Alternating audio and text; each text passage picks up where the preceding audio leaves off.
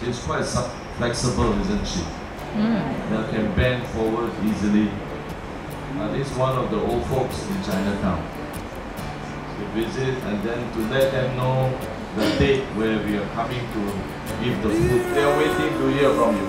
Good afternoon, everybody.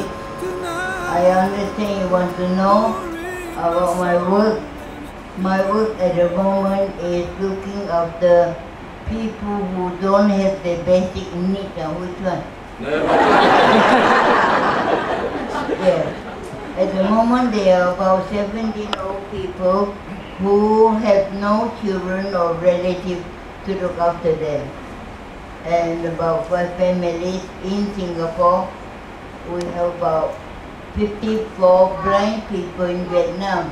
We occasionally visit them, but we also send them money because being blind and handicapped, they cannot earn their own living. I occupy myself visiting uh, new cases, uh, talk to people, uh, sometimes give talk, people ask me to talk about my work, and I request them to sit for 108 years because I'm 108 years old. if they want to hear about my work, my life story, they have to sit all the years of my life. Uh, they said no, but they sit just the same. I tell them what I do now and my work started in the early 1920, maybe 1923, mm, when there were different types of needy people. Those days they were like divorced parents, they leave their little children with their grandmothers. Grandmothers have other work to do, other grandchildren look after. So they sometimes run out in the street and sometimes they just are uncared for. So we look after them, we look after them, we look for them, they look after them, sometimes take them to a little spare room, then feed them. So this is, has always been my, my work. And the reason why I started on my life work radio was because I myself was very, very poor in, in my early days. When I was about five or six years old, I was so hungry. When nobody looked when I go out to do wash clothes for the family, pick fruit from the tree. If nobody looked, I was stop by the roadside and pick grass to put in my mouth. I don't know why people think I've grown like I am only 113 years young.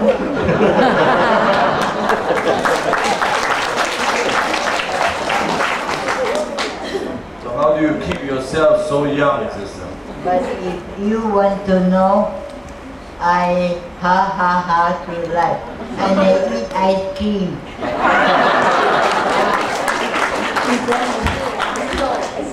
What is your favorite ice cream? Vanilla. I don't into the shop. I keep them for myself. I didn't start being vegetarian. I was born vegetarian because my grandmother lived by the sea and my uncle go down to the sea, catch fish and crabs and all what they call delicious food. and my grandmother said, if you don't eat fish, you won't be strong. I'm I eat a small piece of fish, I will go all red. They frightened my grandmother, didn't ask me to eat fish anymore. But the, the fact is that my mother, my grandmother is wrong. She eats fish, she's gone. I don't eat fish, I'm still alive.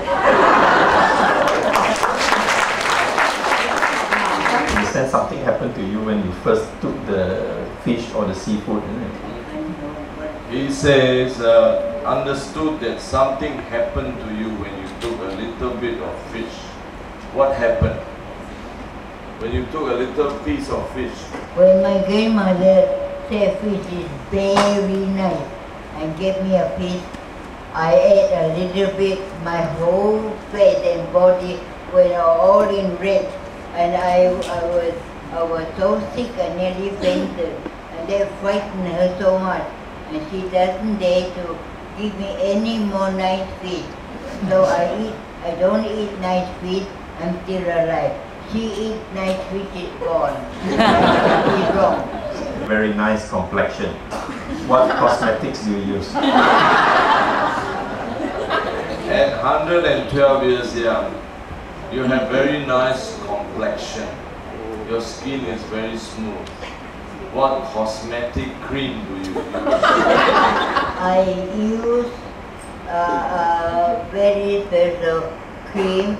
I eat raw eggs every morning because people tell me raw egg is very long life giving. So I eat a raw egg and instead of throwing the shell away, I clean out the inside, the, the white of egg that's left in the shell. I smear it on my face. And one nutrition, a very kind-hearted told me, raw fish, a raw, raw egg is poisonous. You don't smear it on my face, on your face. I said, never mind, I thrive on poison. So now I still live on poison and I enjoy it. I forgot to be sick.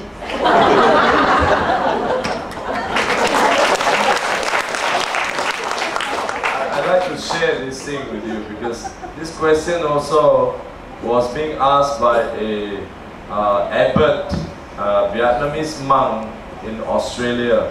She went to give some talks and this abbot, uh, Vietnamese monk, had breakfast with us. In the morning we had breakfast together with his disciple and uh, devotees. So uh, at the breakfast table, he asked sister the same question. Sister, have you ever been sick? And so she replied uh, in such a manner that the Buddhist monk, the Vietnamese monk, nearly fall down laughing. and the, the reply she gave was, Brother, sickness forgot to visit me.